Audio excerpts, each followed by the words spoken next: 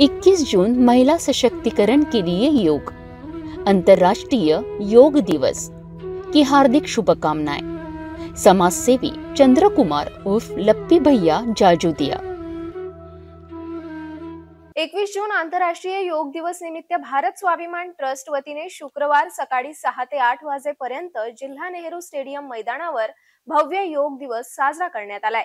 यावेळी योगा सादरीकरणात जिल्हाधिकारी सौरभ कटियार यांनी सुद्धा सहभाग घेऊन अनेक प्रकारचे योगा करण्यात आले.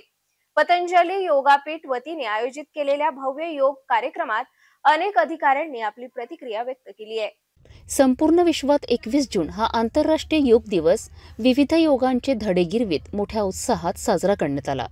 अमरावती शहरातील जिल्हा नेहरू स्टेडियम येथे एकवीस जूनच्या सकाळी सहा ते आठ वाजेपर्यंत भारत स्वाभिमान ट्रस्ट वतीने भव्य योगा कार्यक्रमाचे आयोजन करण्यात आले. या योगा कार्यक्रमाचे उद्घाटन जिल्हाधिकारी सौरभ कटियारसह इतर मान्यवरांच्या हस्ते दीप प्रज्वलन करून सुरुवात करण्यात आली.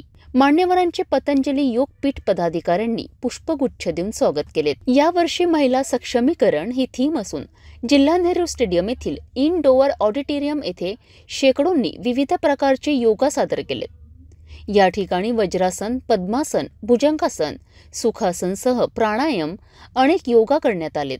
याच योगा कार्यक्रमात जिल्हाधिकारी सौरभ कटियार जिल्हा परिषद मुख्य कार्यकारी अधिकारी संतोष जोशी क्रीडा उपसंचालक विजय संतान समाज कल्याण उपायुक्त सुनील वारे जिल्हा परिषद महिला बालविकास अधिकारी कैलास घोडके यांच्यासह अनेक अधिकारी विद्यार्थीसह वृद्ध नागरिक महिला पुरुषांनी मोठ्या संख्येने सहभाग घेतला.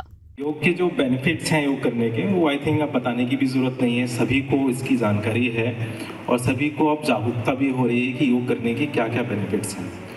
और अब तो देश के बाहर भी लोगों को भी इसकी जागरूकता हो रही है धीरे धीरे कि योग करने के क्या क्या बेनिफिट्स हैं बॉडी के लिए और माइंड के लिए। इसीलिए आज के दिन पूरे विश्व में योग दिन मनाया जा रहा है और हम सभी उसका एक छोटा सा पार्ट हैं छोटा सा भाग है। और आज यहाँ पर उपस्थित सभी संस्थाओं ने जो ये योग दिन आयोजित किया गया है, उन्होंने बहुत अच्छे से आज योग योगा करवाया और सभी को मेरा धन्यवाद कि सभी संस्थाओं ने बहुत अच्छे से आज के दिन यहाँ योगा करवाया।